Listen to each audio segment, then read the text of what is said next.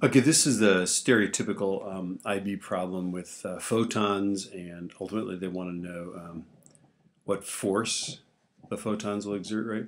The, uh, the main idea here is that um, the energy and momentum of the, of the light at this wavelength, the main idea here is that we're going to use uh, force is change in momentum over time, right?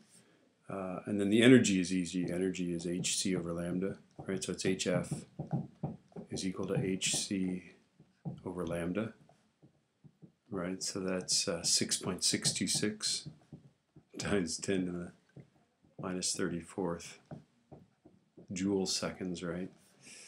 Uh, times, uh, let's see, uh, 3.00 times 10 to the 8th, and that's meters per second, right? So that's the speed of light, and then the wavelength here is uh, 656 nanometers times 10 to the minus ninth meters, right?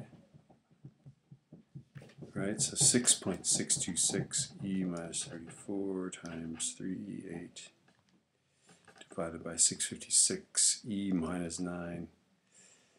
Okay, so the energy is um, 3.030 times 10 to the minus 19th joules, right? So that's that's this answer right here, right? And then um, what is the momentum? And momentum is going to be uh, uh, h over lambda. I think this is the de Broglie wavelength equation, right? So that's 6.626 e minus 34 joule seconds, right, divided by 56. So uh, second entry divided by 656 e minus 9.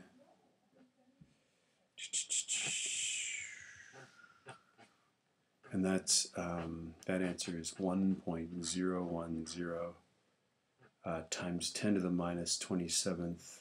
Uh, that's kilogram meters per second right? So there's that, there's this. So there's our energy, there's our momentum, right? Okay.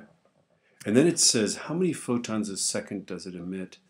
To do that, we're going to take, we know that every second a 120 milliwatt laser, of course, gives off 120 milliwatt, millijoules, right? And so uh, 120 times 10 to the minus third, that's joules. And then the question is, how many of these guys is there in there, right? Okay, so we're going to divide that by 3.030, 10 to the minus 19th, right? So let's see, uh, 120, e minus 3. Uh, okay, hold on, hold on. There we go. Store that in A. Store that in B. Okay, so alpha A has the energy in it. There we go. Okay, so 120 E minus 3, right, divided by alpha A. So the number of photons per second, if you do this, right, this is joules per photon, right? If you divide that, you get uh, you get number of photons, right? So you get, and then this one, 3.960 uh, times 10 to the um, 17th and that's photons per second really right? Because it's it's if it's 120 milliwatts it's a 120 millijoules per second right? So that's how many photons per second right? And then now we can now we can figure out uh, the force. The force is change in momentum over time so that's going to be um, this many photons with this much momentum every second right?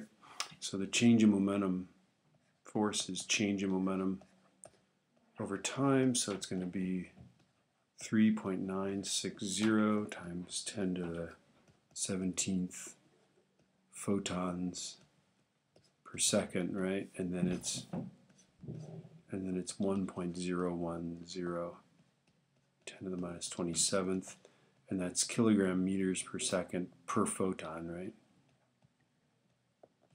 Right? And then uh, what we'll have then is, is uh, photons goes away the bias, and we'll have kilogram meters per second squared, which is of course a Newton, right? So this number times alpha b, which is where I stored this number. And I get when I do that, I use unrounded numbers. Somewhat amazingly, all of this comes out to 4 times 10 to the minus 10th, exactly, according to my calculator. Yay. How is that? Why is it why is it such an even number? That is a mystery. If you've watched it this far, hey, you're good.